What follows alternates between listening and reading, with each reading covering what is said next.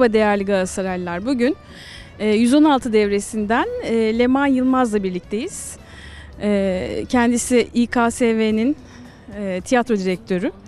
Aynı zamanda başka özellikleri de var. Program boyunca bunlardan konuşacağız. Hoş geldin Leman. Merhaba Sena nasılsın? İyiyim sağ ol sen. İyiyim teşekkürler. Hoş geldin. Şimdi e, lisenin bu mekanında, e, giriş kapısında yeniden yıllar sonra lisedesin. Neler hissediyorsun?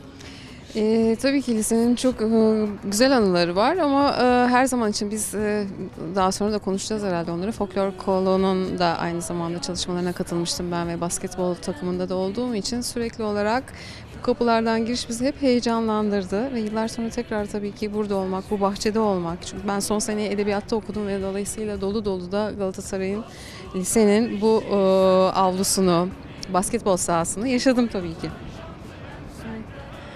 Çok güzel. E, basketbol derken yani e, lisanslı mıydın? Nasıl? o, e, lisanslıydım. Hazırlıktan sonra 6. sınıfta hem lise takımına girdim hem de o dönem bayan basketbol takımı vardı. Sonra bir dönem kapandı, tekrar açıldı. E, e, lise takımıyla birlikte basketbol bayan takımında da oynamaya başlamıştım.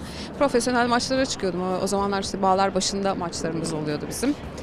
E, tabii ki oyun kurucu oynuyordum. Bu boylan daha fazlasını oynayamazdım. Dolayısıyla daha e, kısa boylu ama çok iyi bir oyun kurucu olduğumu e, düşünüyorum. Çünkü çok iyi e, top çalardım. Yani en güzel yıllarımızı geçirdik tabii ki. Çocukluğumuzu geçirdik. Buralara girdiğimizde sonuçta liseye girdiğimizde 11 e, 10-11 yaşlarındaydık. Burada büyüdük ve buraya tekrar geri dönmek her zaman için çok büyük bir heyecan veriyor.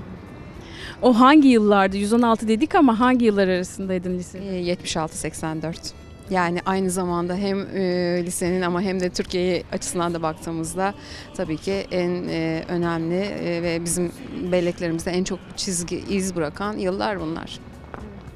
Peki o zaman biraz lisenin içine doğru da gidelim. Koridorlarda gezinelim. Dün küçücük çocuktum Şimdi saçımda aklar var O gün Leman'cığım o dönemde e, okulda kültür kollarının çok büyük etkinliği vardı. Hepimiz o kollardan yetişerek e, bir yerlere geldik. Yani hayatımıza çok büyük katkıları var. E, senin de mutlaka öyledir. E, birebir ilintili işler yaptın hayatın boyunca. Bunu biraz bize anlatır mısın? Galatasaray'ın sana ne gibi katkısı oldu? E, tabii ki 76'da girdikten sonra yani hazırlık e, okuduktan sonra e, o dönem yani 6. sınıfla birlikte kol çalışmaları da başlıyordu. Folklor kolu, e, tiyatro kolu. Ben folklor kolunu tercih etmiştim. Oradaki çalışmalara katılmaya başlamıştım. E, aynı zamanda da aslında basketbol da başladı. Yani basketbolun işte ortaokul takımı sonrasında kulüp takımları olması. E, Galatasaray'da baktığım zaman sosyal aktiviteler açısından bir taraftan folklor ve dans gidiyordu. Diğer taraftan da spor gidiyordu. Dolayısıyla bugün kendi yaşamıma baktığımda hala her şey var. Yani bugün ben sabah sporumu yaptım geldim diyeyim mesela. Ee, ya da dansı yıllar boyunca devam ettirdim. Ve burada yaşadığımız o 8 yıl çünkü e, bir taraftan da biz tabii ki Ortaköy'deydik. Ee, aslında ben son sene edebiyatta geçince buraya geldim Beyoğlu'nda okudum fakat e, aslında Beyoğlu binası da bize çok yabancı değildi çünkü e, folklor çalışmalarını yaparken tabii ki iki okul bir arada daha doğrusu Beyoğlu ve Ortaköy birlikte çalışıyorduk Kızlı erkekli. kızlı erkekli çalışıyorduk ve e, çalışmalarımız haftada bir gün iznimiz oluyordu. Genelde çarşamba günleri oluyordu. Ee, Biz buraya geliyorduk. Burada çalışmalarımızı sürdürüyorduk. Özellikle de biliyorsun yıl sonu gösterilerimiz olurdu ve çok güzel gösteriler vardı. Festivallerimiz olur. Festivallerimiz olurdu. Dolayısıyla o gösterilere çok o, özenle hazırlanırdık ve o gösteriler için de biz işte hafta, haftada bir gün başlıyorduk. Sonra yaklaştıkça da özel izin alınırdı ve e, o özel izin sonucu e, neredeyse haftamız, bütün bir haftamız bizim burada geçerdi. Hafta sonları da gelirdik. Hafta sonları da o çalışmalar sürerdi. Sonra çıkardık oradan hep beraber e, iki folklordaki arkadaşlarımız, ko- kollardaki arkadaşlarımız bizden bir dönem büyüktü aslında. Genelde aynı dönemden olduğumuz yoktu. Yani Sarper vardı, Kürşat vardı, Levent Sarı Levent vardı, e, Murat vardı. E, şimdi hepsini e, Eren Akay vardı. Dolayısıyla çok Ümit Pınar vardı. Yani çok güzel bir ekiptik, çok güzel bir gruptuk. Ve hiçbir zaman için hani alt devre, üst devre ya da şey yoktu. Orada önemli olan bir amaç için, işte dans için. Bir arada bir şey üretebilmek. bir şey üretmekti. Aynı şekilde bu paralellikte tiyatroda da gidiyordu. Tiyatro da o şekilde şekillendi. Ve sonrasında hakikaten yaşamla ilgili kararlar verirken ben üniversite seçme kararını verirken bile bunun çok o, büyük bir e, şeyi oldu. Ben- benim için itki oldu. Çünkü Boğaziçi diyordum. Evet Boğaziçi'ne gitmem gerekiyor düşünüyordum. Çünkü bizden önceki kuşaklar gitti. Mehmet Açar biliyorsun Biyo'nun e, başkanıydı. Ay pardon Biyo'nun başkanıydı ama şeyden e, buradaki oyununu hiçbirimiz unutamayız. Mehmet Açar'ın burada sahneye koyduğu oyunlarını. Mehmet Açar Aykut Altın daha sonra bizim dönemden Sevilay Saral Ömer Faruk Kurhan Fa- Fahir Üzümcü. Hepsi aslında Galatasaray'ın tiyatro kollarından daha doğrusu sonrasında da folklor kollarından hepimiz biz e, Boğaziçi'ni tercih ettik. Çünkü Boğaziçi'nde de yapı, e, çok iyi bir yapılanma vardı o anlamda. Kültür kulüpleri e, açısından. E, orada devam ettik. Hatta oradaki buradan giden bir grup sonuçta BGST, Kardeş Türkler gibi çok önemli bugün e, Türkiye'nin tiyatrosunda ya da Türkiye'deki müzik, etnik müzik e, anlamında çizgisinde çok önemli yerlere geldi ve o, oralarda da o kuruluşlarda da yer almak. Sonrasında işte benim profesyonel olarak artık ben bu alanda e, eğitimimi sürdüreceğim deyip doktoramı, master'ımı, doktoramı yine dans ve tiyatro üzerine yapmam ve sonrasında tabii ki bütün profesyonel işlerimi kültür alanında yapmam ve şu anda bulunduğum yere gelmem de aslında çok rastlantısal değil. E, bütün bu çizgi buralarda başladı. Bu koridorlarda başladı. Yani şu anda e, konuştuğumuz yerlerde biz çalışırdık çünkü e, çok e, kalabalık gruplardı. Selim Sırrı Tarcan bizim için orası spor salonu değildi. Prova yaptığımız gerçekten çok önemli bir mekandı. Yani hafta içi bazen biz orada basketbol şey e, antrenmanları yapıyorduk. Hafta sonları da e, dans çalışıyorduk, folklor çalışıyorduk. Halk dansları çalışıyorduk. Yani folklor demek istemiyorum. Halk dansları çalışıyorduk tabii ki. Yani Boğaziçi Sahne Sanatları e, Topluluğu ve e, Kardeş Türkülerinde o zaman. Kardeş Türküler sanırım sizin arkanızda e, o zaman müzik yapıyorlardı değil mi? Öyle bir şey mi vardı? Nasıl başladı? Aslında ilk kuruluşu evet e, yani bir taraftan dansçılar vardı, diğer taraftan zaman zaman Biyo ile ve Boğaziçi oyuncularıyla ortak çalışmalar yapıyorduk. E, sonrasında e, koro vardı. O koro e, daha gelişti. Kardeş Türküler yapılanmasına döndü. Kardeş Kardeş Türküler adını aldı ve sonrasında tabii ki biz beraber dans ediyorduk. Yani ilk gösterileri beraber yaptık dansçılarla. Sonra daha ayrıştı ama dönem dönem onların konserlerinde de yine BGST dansçıları yer alıyor, birlikte çalışıyorlar. Çok da keyifli işler yapıyorlar. Çok güzel. O zaman biraz da artık koridorlardan, merdivenlerden yukarı çıkalım. Ee, Tevfikre salonumuza doğru yol alalım.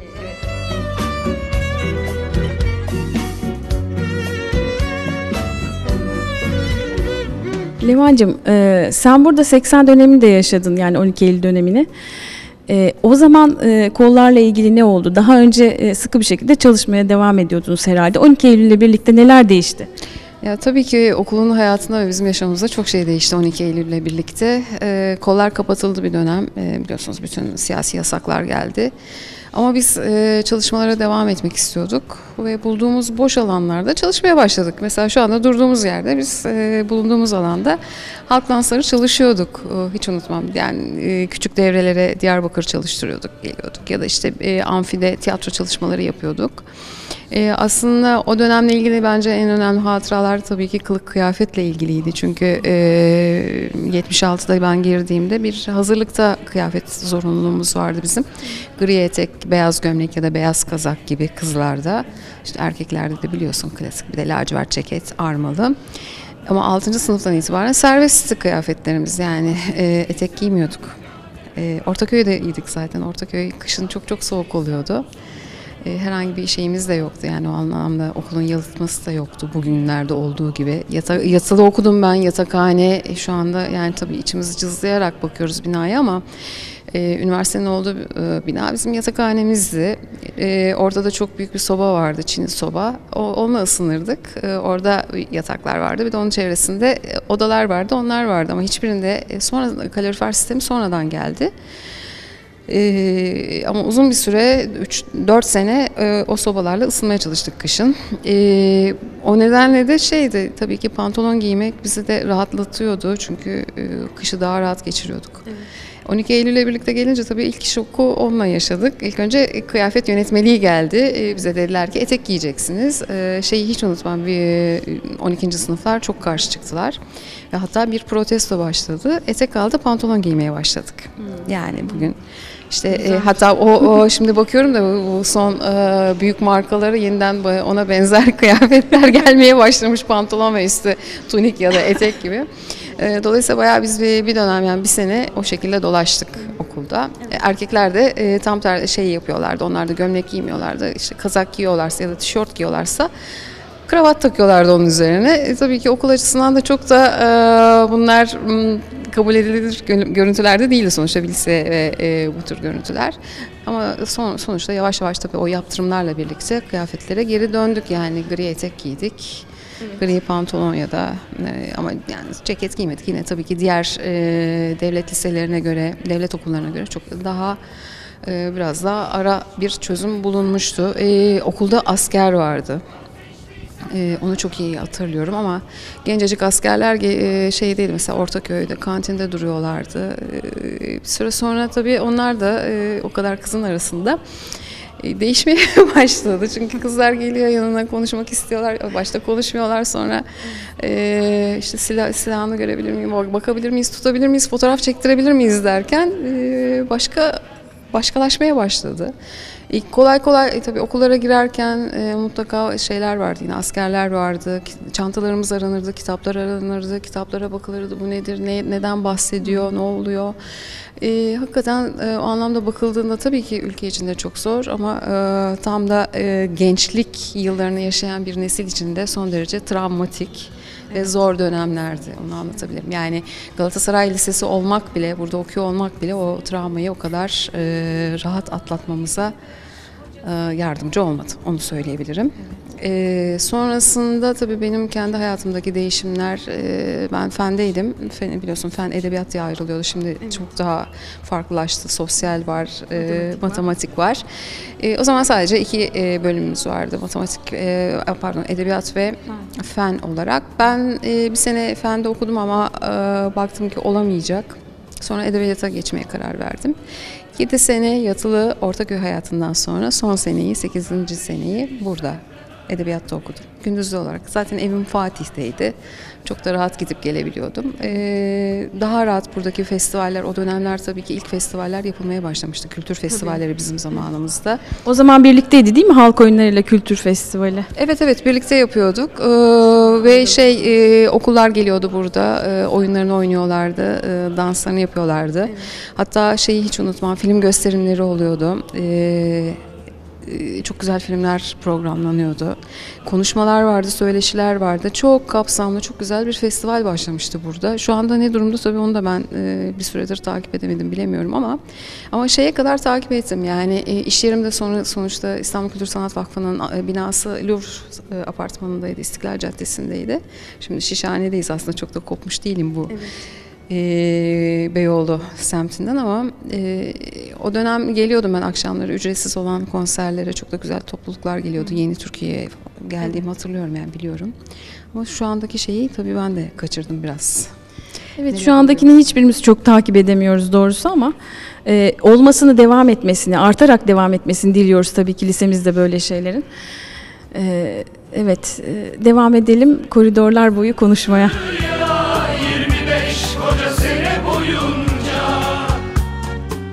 Sevgili Leman, Tefkire salonundayız okulumuzun. Buranın kokusu gerçekten insanın içine işleyen bir ahşap, bir güzel bir koku böyle eski, kadim bir kokusu var. Ee, senin burada nasıl zamanın geçti? Sahnede neler yaptın? Oyunlar oynadın mı? Ee, gösterilere çıktın? Bir onu dinleyelim. Vay, Asena hakikaten değişmemiş kokusu. Yani uzun süredir ben sahneye girmemiştim. Ee, bir tek tabii şeyi biliyorum e, çünkü sonrasında onu birazdan söylerim. E, koltuklar değişmiş bizim zamanımızda sabit ahşap e, ağaç koltuklar vardı, sabit koltuklar vardı. Şimdi sahneye çıkınca tekrar ben bunu geçen gün Demir Demirgil'de de yaşadım. E, Boğaziçi Üniversitesi'nin salonu restore edildi ve yeniden açıldı. O zamanlar diyordum yani 30 kişi o sahneye biz nasıl sığdık? Çünkü fırtına yaptığımızda. Şimdi buraya bakınca da aynı şekilde biz burada yani 4-5 çift falan e, gösteriler yaptık ve ilk ben 6. sınıfta çıktım sahneye, bu sahneye.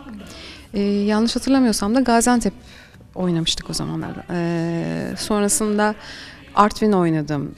Diyarbakır hatta Diyarbakır'la e, bölge birincisi mi olduk o yanlış ya da İstanbul birincisi olmuştuk galiba bölge birinciliğine gitmiştik.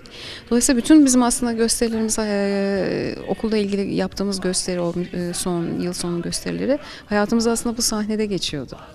Ve ben çok ilginçtir dikiş dikmeyi bu gösterilerde öğrendim. Bilmiyorum sana hatırlar- Hepimiz öyle. Hatırlar mısın? Çünkü bir taraftan çünkü e, sadece şey değil o e, gösteri dönemi e, okulun işte Mayıs aylarıydı. Kapanmasına yakın dönemlerdi.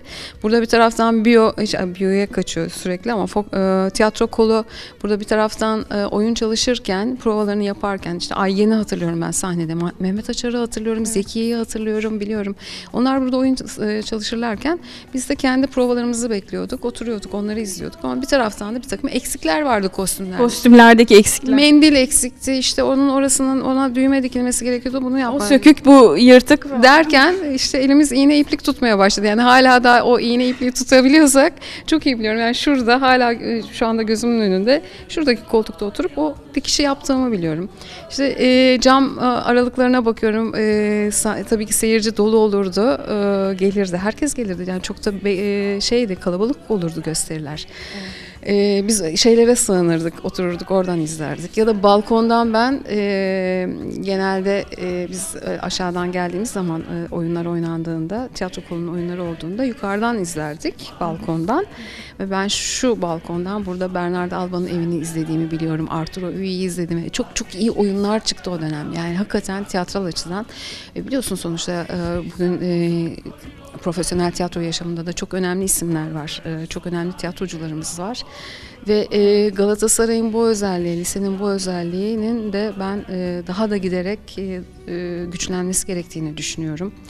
E, e, daha sonrasında benim buraya bir geri dönüşüm Galatasaray'ın zenginliği bu. Gerçekten bu. Sadece eğitim değil, onun yanı sıra e, böyle kültüre, sanata e, destek vermesi her zaman e, Galatasaray'ın zenginliğidir. Bunu hiçbir zaman kaybetmememiz gerekiyor ve artarak devam etmesi gerekiyor gerçekten. Bunu vurgulayarak, altını çizerek söylemek gerekiyor her yerde.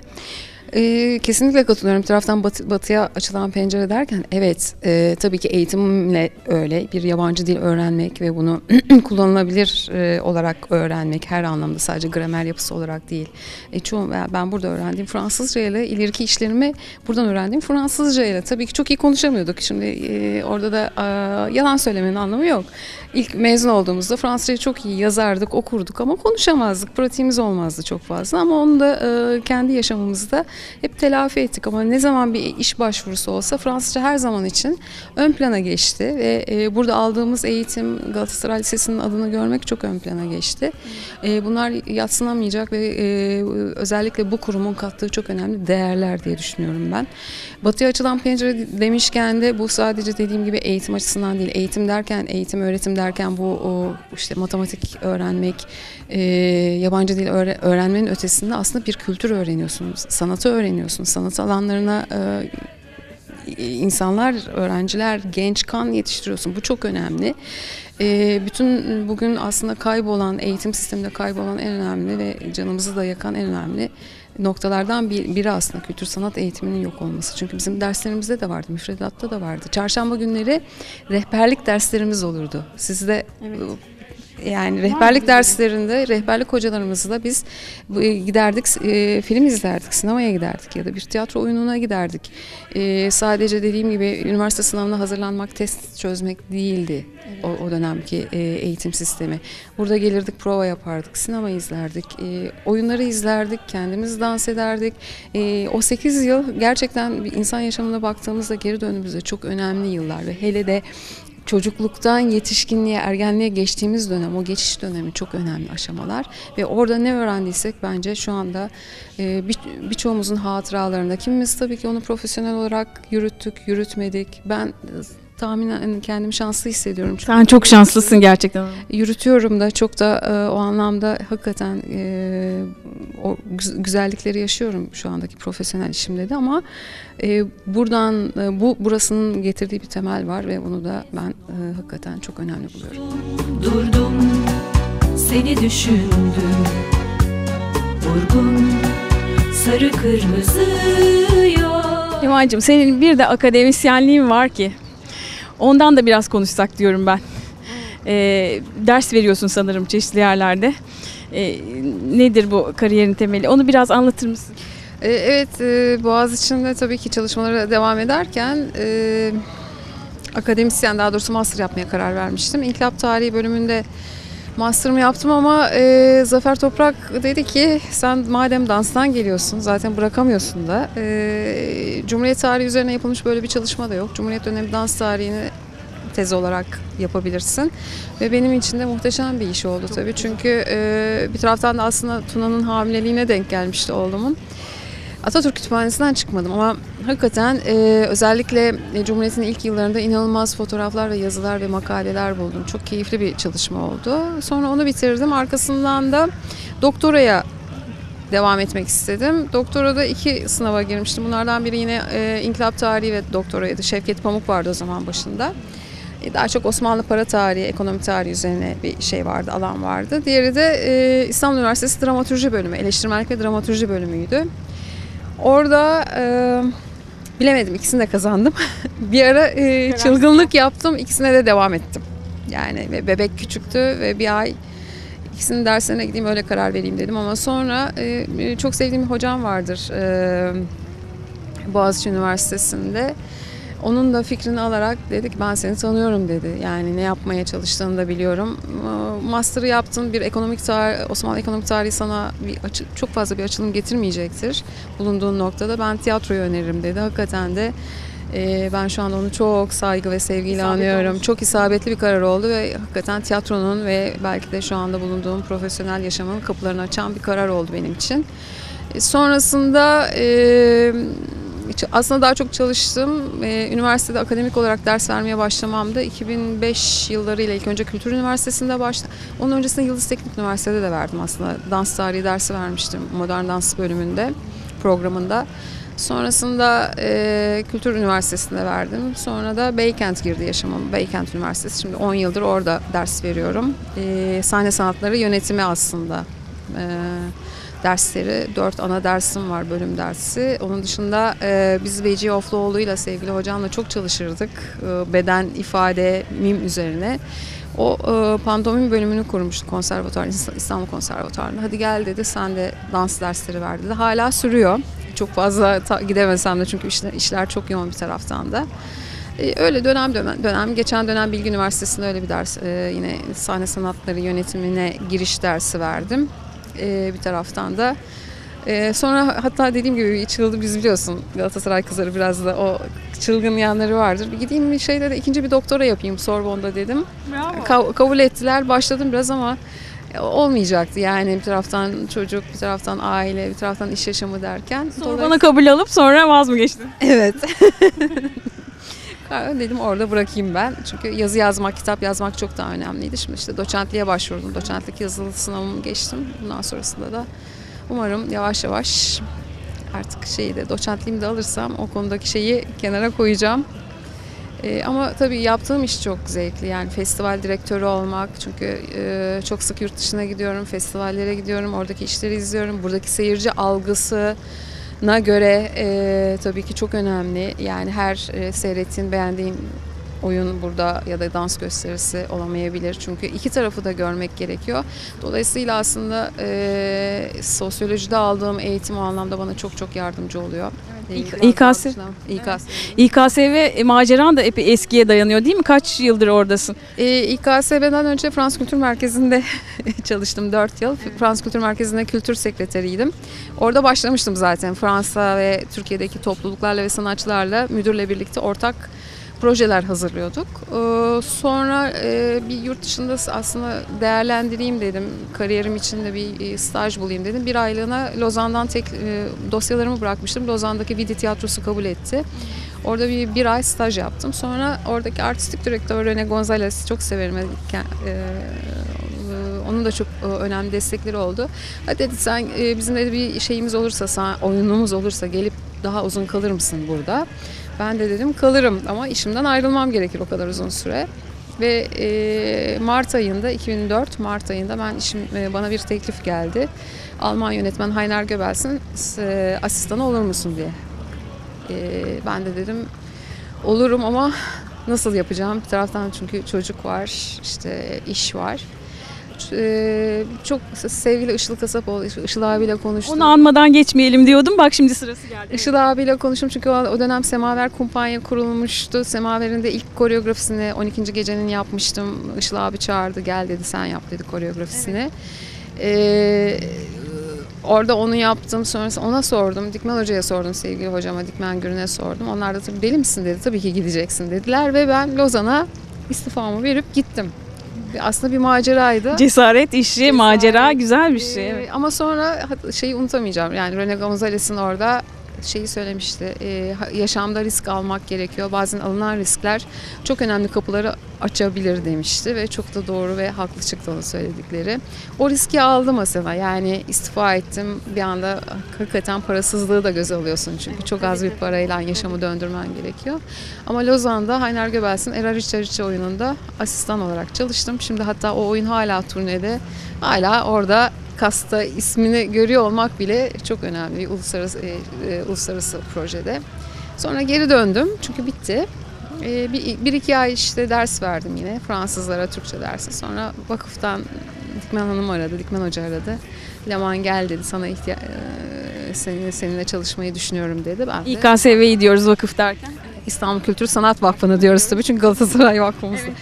İKSV diyoruz. İs- İstanbul Kültür Sanat Vakfı e, Uluslararası Tiyatro Festivali olarak geçiyordu o zaman. Şimdi İstanbul Tiyatro Festivali olarak geçiyor. Tüm festivallerimiz öyle geçiyor. Onu da söyleyeyim. E, ve 2005 14 Şubat'ında yarın yani tarih verecek miyiz? Bu senin için bir kutlama da olsun o zaman. Çok tebrik ediyoruz. Gerçekten e, lisemizin yetiştirdiği ender değerlerden biri olduğunu düşünüyorum. Lisemizin zenginliklerinden birisin. Çok memnun oldum seninle bugün burada konuşmaktan. E, nasıl bağlayalım bilemedim ama çok çok teşekkür ederim. E, Beni kırmadın, geldin buraya. Çok teşekkürler. Ben çok teşekkür ediyorum gerçekten tekrar bu anıları da hatırlamak çünkü insan bazen unutuyor e, günlük yaşamın koşturmacası içinde neler yaşandı, neler yaptık. E, ben de şöyle bağlayayım istersen. E, biz e, tiyatro festivali olarak hakikaten burada çok güzel mekanları var okulumuzun. E, umarım 2016, e, 2016'da artık çok geç programımız hazır ama 2018'de belki bu güzel okulun binanın bölümlerinden birini tiyatro festivaline açar yönetim. E, en büyük Bunu hep bunu hep söylemek istemiştim. Senden duymak çok güzel. Ee, tekrar çok, teşekkür ederim. Elimizden gelen bir şey varsa elbette biz de yapmaya hazırız. Okul idaresi anlamında vesaire. Ee, çok çok çok e, muhteşem bir şey olur böyle olursa bir şey olursa. Çünkü çok önemli Ee, bir mekanın hele e, bir ulusal, uluslararası festivalde bir mekan olarak kullanıldığı noktada o, e, onun e, gerçekten algısı çok değişiyor. Ee, Bu bir şey değil, reklam demiyorum ben buna ama e, bir taraftan da çünkü Avignon Festivali'nde çok örnekleri var. Yurt dışı festivallerinde e, liselerin e, alanlarını kullanıyorlar, grand kurlarını kullanıyorlar ve sahneye dönüştürüyorlar. Umarım biz de lisede evet Süper. Umarım e, günün birinde biz de kendi lisemizin e, alanlarını uluslararası festivalin kullanımını açarız. Güzel. Çok teşekkür ederim. Çok sağ ol geldiğin için. Sensiz kaldığımı öğrendim Değerli Galatasaraylılar, bugün e, Leman Yılmaz'la birlikte çok çok keyifli bir sohbet yaptık. E, bir dahaki bölümde bir başka arkadaşımla, bir başka konuğumuzla görüşmek üzere. Hoşçakalın. Yirmi